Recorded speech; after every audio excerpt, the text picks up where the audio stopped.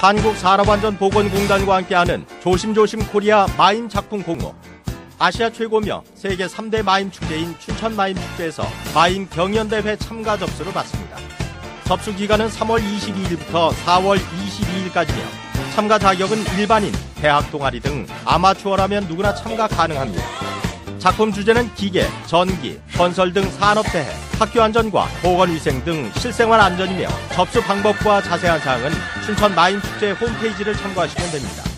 한국산업안전보건공단과 함께하는 조심조심 코리아 마임 작품 공모 여러분의 많은 참여를 바랍니다.